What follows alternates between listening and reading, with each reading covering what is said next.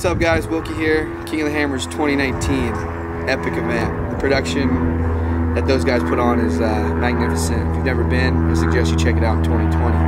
Zollinger boys, ZRP team, 5th and 16th out of a stacked class. Decided not to carry any spares, pretty much put those tires to the test with as much confidence as you could put in the tire without carrying a spare. Every other team had a spare. They, however, did not.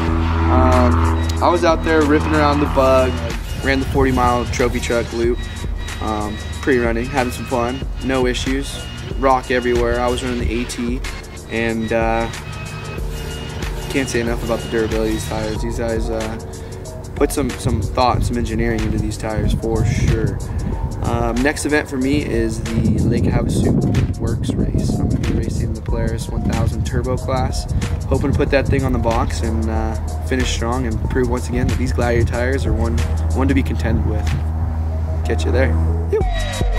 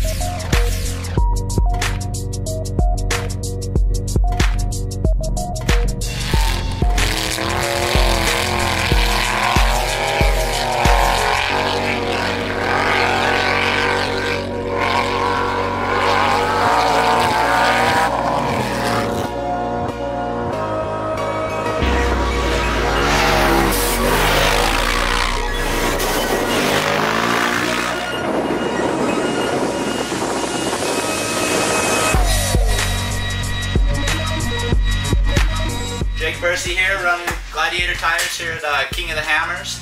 Um, we're getting ready to go out and qualify today. Running the uh, Gladiator X Comp MTs in a 32. Uh, we've been super stoked with these tires. Uh, we feel like the uh, extra edge bite are really going to be advantageous in the rocks. Um, hopefully we can put down some fast lap times and then uh, complete King of the Hammers. So we're stoked to get out there and do work.